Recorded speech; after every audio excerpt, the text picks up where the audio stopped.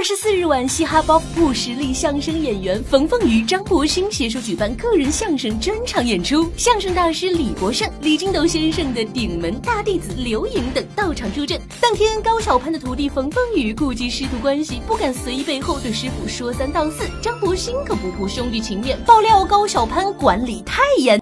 哎，小潘这个人呢，平时就是管徒弟管的实在太严了，太严了。太严了。你看，管的现在头发都不长毛了。嘻哈包袱铺里知名度最高的一对搭档，也要数高晓攀和尤宪超了。张博兴和冯凤雨这对搭档，也是欲出奇招超越他们。那这个问题非常简单了，啊，把他们打死，你就超越他了。你俩能打过尤宪超那块儿？哎呦，你跟跟他比比，我比他胖。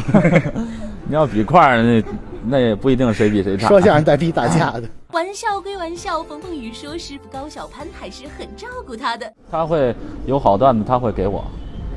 对，他还是比较照顾我的。此次专场演出不仅有原汁原味的相声表演，更有与时俱进的爆笑新品，令现场观众从头笑到尾。